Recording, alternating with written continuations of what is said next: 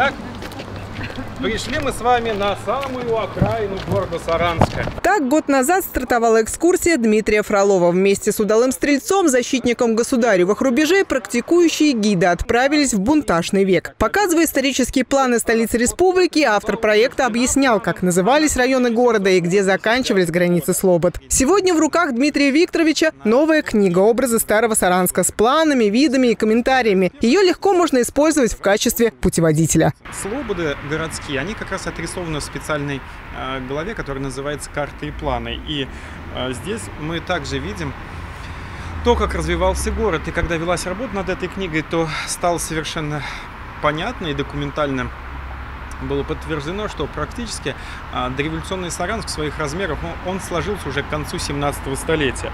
А в 18 столетии он только несколько вытягивался к северу, а, немножечко к югу, и слободы взаимопроникали друг в друга.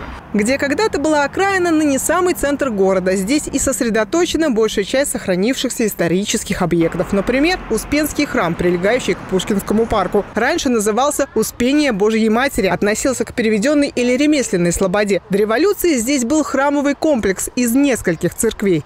Вот мы видим Успенский храм, 18 столетия, была отдельно стоящая колокольня конца 19 века и сохранившаяся Никольская церковь, которая ныне освящена как Успенская в память об Успенском храмовом комплексе. То есть а, вот так на самом деле а, все непросто. То есть сейчас сохранился храм 1802 года. Вот здесь мы можем прочитать, что он был построен иждивением прихожанина купца Дмитрия Максимовича Казицына.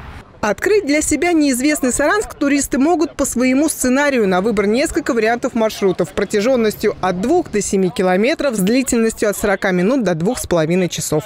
Если уж у человека совсем мало времени, то можно, конечно же, покрутиться на пятачке, да, на бывшей Соборной горе и посмотреть какие-то основные достопримечательности э, бывшего э, городского э, центра, который сейчас к счастью, также и остался центром города. Или можно спуститься вниз, в нижнюю часть города и посмотреть достопримечательности нижней, второй, или, как ее называли, астраханской части города. Прошло больше 30 экскурсий, вот. И, к счастью, все посетители остались довольны, оставили самые теплые, самые приятные отзывы, и всегда очень много желающих на подобные экскурсии. Это послужило стимулом, говорит Дмитрий Фролов, чтобы отправить заявку на всероссийский конкурс туристических маршрутов «Открой свою Россию». Сейчас авторский проект «Слободы Старого Саранска» изучают эксперты. Думаю, ждет какое-то расширение, поощрение и, наверное, использование гораздо более широкое, то есть не только автором экскурсии, но и, наверное, другими практикующими гидами и экскурсоводами по городу Саранску, а, с которыми, собственно, я всегда совершенно спокойно, свободно и совершенно бесплатно делюсь своим опытом и своими наработками. Ну, а после а, выхода книги, я думаю, что этими наработками могут, могут воспользоваться вообще все желающие. Презентация новой книги запланирована на 9 сентября. Не пропустите. Алена Москалева, Игорь Гангаев и Андрей Просвиркин. Наш новость.